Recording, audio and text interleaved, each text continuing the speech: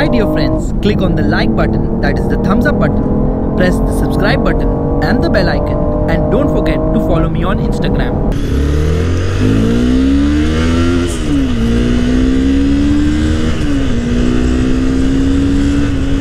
Hi guys and welcome to another vlog. I am riding the Honda CBR 250R and as you can see it is a Sunday morning so the road is closed my main road is closed. I miss you road.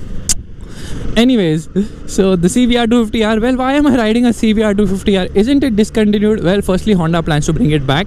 I have been speaking to Honda time and again, and they said the BS4 versions are surely going to come back. And I just hope they get the updated facelifted model, but that might seem a little bit unlikely.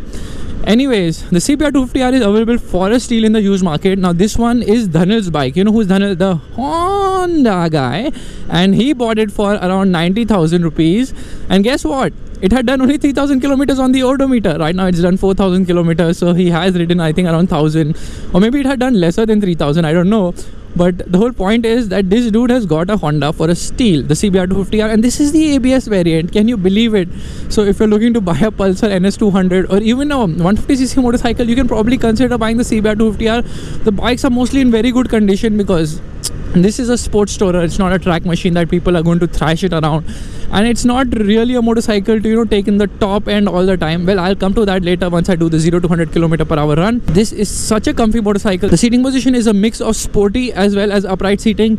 And it's a very comfortable motorcycle. In fact you can ride it daily without much issues. And this is another honda. So it's a honda squad. I think it's a nice idea to actually do the slalom test and see how it goes well uh, this motor really pulls.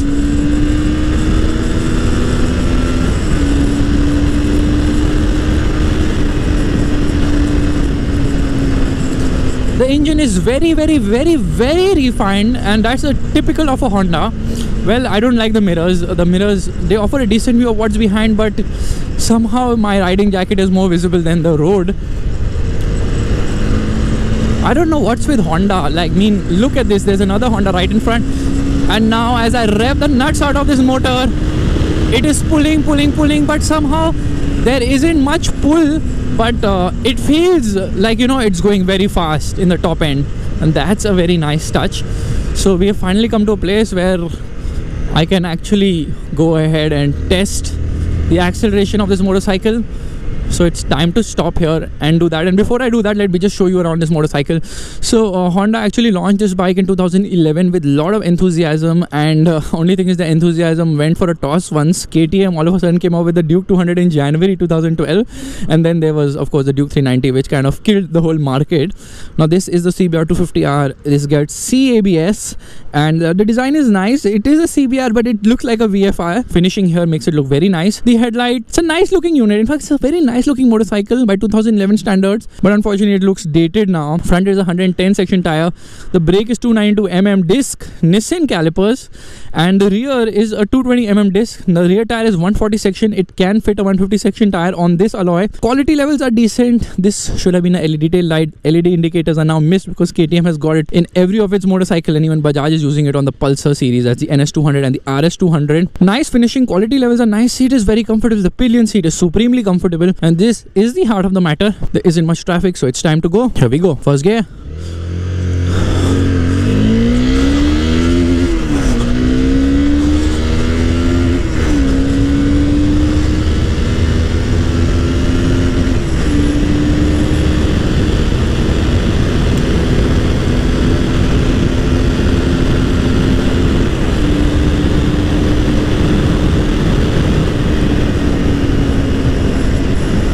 So I must tell you one thing that the engine is supremely refined and the clutch is very light indeed. The clutch is actually supremely light and the gearbox is also very slick.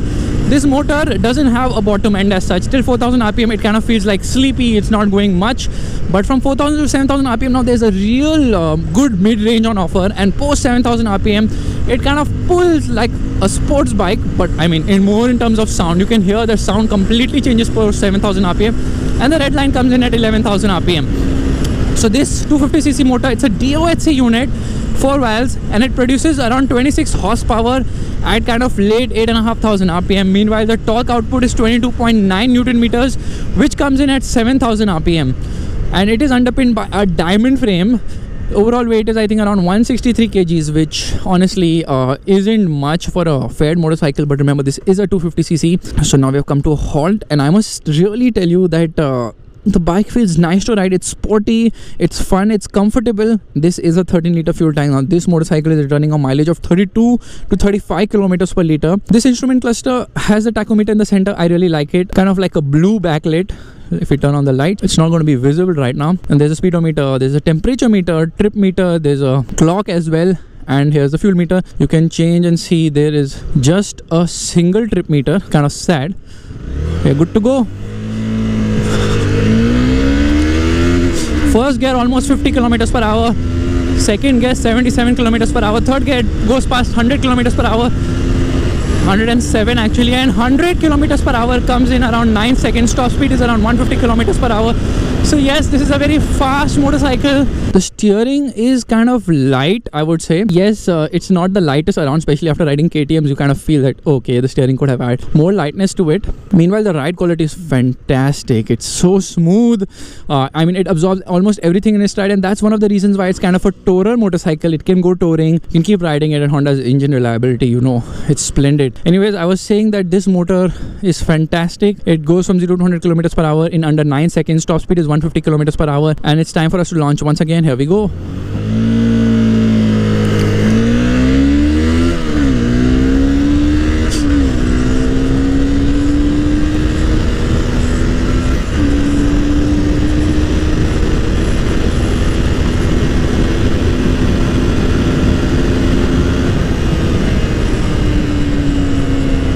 the brakes are very nice. Cabs works very well. So basically what cabs is combined abs what it does is if you apply the rear brake it also applies the front brake. And if you apply the front brake it only applies the front brake. So here we have a drag race opportunity with the pulsar rs200 because track racing should be left to amateurs. I hope he can't hear me.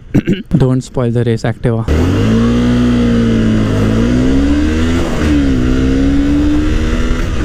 Honda. I can't see the pulsar. It has to be somewhere around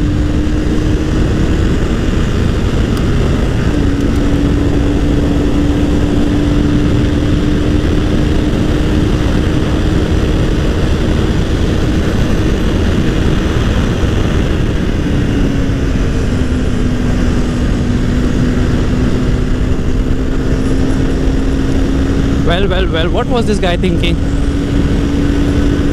Anyways the cbr 250r really pulls quite well.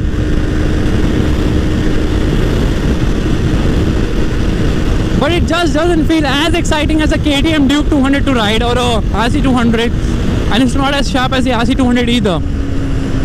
Yes it's fast. Yes it's fun.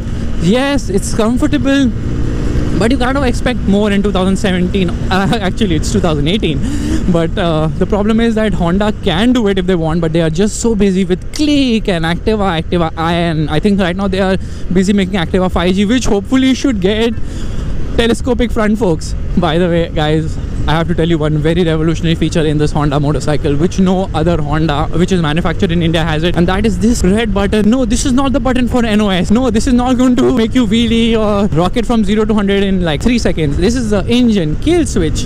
Yes, this Honda motorcycle has an engine kill switch. I kid you not. An engine kill switch on a Honda motorcycle is as rare as rare can get. By the way, this engine which Honda has made, the 250cc engine, it's a ground up engine and it has a lot of tech. It has like a real lot of tech. Honda has given it a lot of modern technology. You know, it's fuel injected and they have used the best of components. I mean, we keep praising KTM engines, but this engine also deserves a lot of praise because it is one of the most fun engines as far as practicality goes because in the city you can ride it. It doesn't heat up at all. Sounds good, tractable, very good for touring. So this CBR 250R is kind of a do-it-all motorcycle. Slap on good tires and you can also take it to the track. And Honda obviously uses it in a one-make series. Of course, very good for city duties because of no heating. Very good on the highway, comfortable, can tow. And overall, I would say that the CBR 250R is still a very relevant and good motorcycle in 2018. Honda just needs to get the latest model out, probably get us the CBR 300R. And if they do that, then honestly, this segment is going to really go upside down. So we are in first gear. Motor is kind of very audible at idle. Not the Honda smoothness at idle, but it gets very smooth as you rev it. And I think it's time to go. Here we go.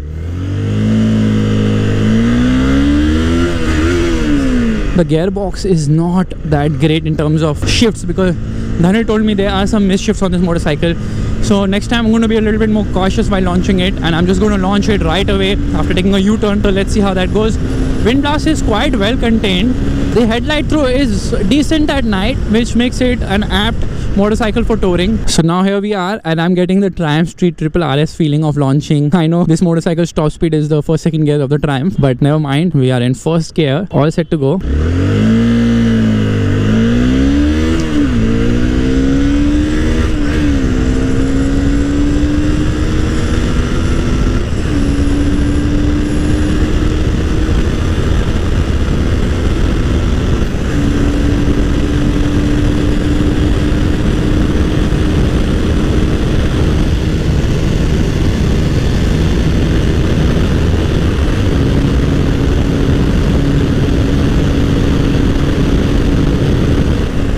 Well we did 140 kilometers per hour. Now i know that's not fast. Uh, on the same road i do 170 comfortably on the duke 390 on the duke 200 i have done 135 on the duke 250 i have done around uh, 140 kilometers per hour. Meanwhile on the aprilia i have done 270 anyway let's go